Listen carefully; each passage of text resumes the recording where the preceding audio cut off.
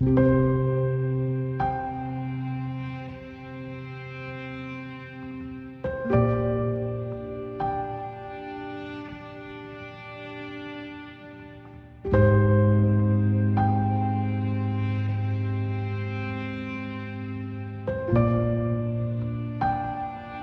ये drone project बनाने का सबसे मेन जो मकसद है, वो चीज़ों को रीयूज़ करना। मतलब कचरा जो होता है हमारे इर्द गिर्द, उसको रीयूज़ करना मेरा सबसे मेन गोल है ये ड्रोन बनाने का। चूँकि मैं ड्रोन के बारे में बताता चलूँ तो रिसाइकल की हुई चीज़ों से मैंने बनाया है। घर पे आप देख सकते हैं फेंकी हुई चीज़ या दूसरे कहीं पे पड़ी हुई चीज़ हम उस पर गौर नहीं करते और वो वैसे ही वहाँ पे सड़ जाता है। मैंने उसी उसी चीज़ को देख के मैंने ये ड्रोन बनाया ड्रोन भी मैंने सबसे मेन जो है उसके जो होता है फ्रेम जो है मैंने वो बेम्बो स्टिक से बनाया हुआ है। और उस पर प्रोपेलर्स भी हैं।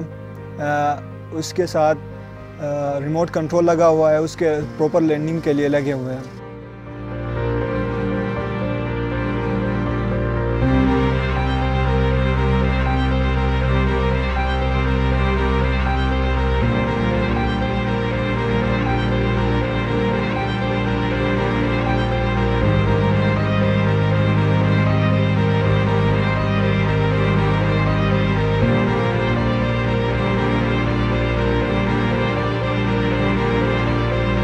मेरा स्टूडेंट मिस्टर जुनेद एक हाईली कॉम्पिटेंट और टैलेंटेड स्टूडेंट है।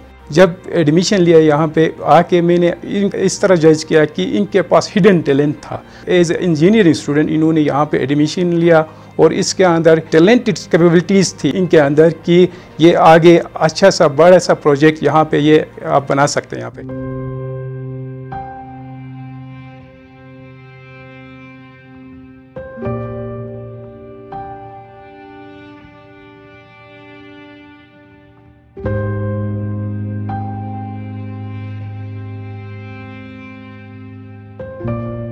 जब से एक प्रोजेक्ट में लगा हुआ था, उसने अपने कमरे में देसी साख्त के सामान जमा करता था और बिखेर देता था और उसको सपोर्ट करने के बजाय, बल्कि उसको डांट डिबिट पड़ती थी।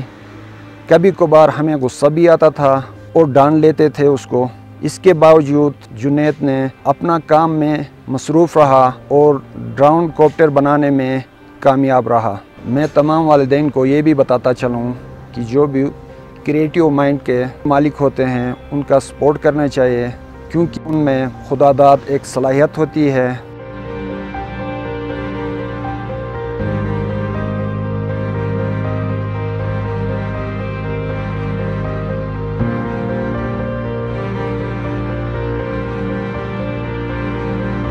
अपने बेटे का मुस्तबिल रोशन देखना चाहती हूँ। मेरे नेक ख्वाहिशात है कि मिस्टर जुनेद के लिए अल्लाह कामयाब करे और आगे जाकर मुल्क और कौम का नाम रोशन करे।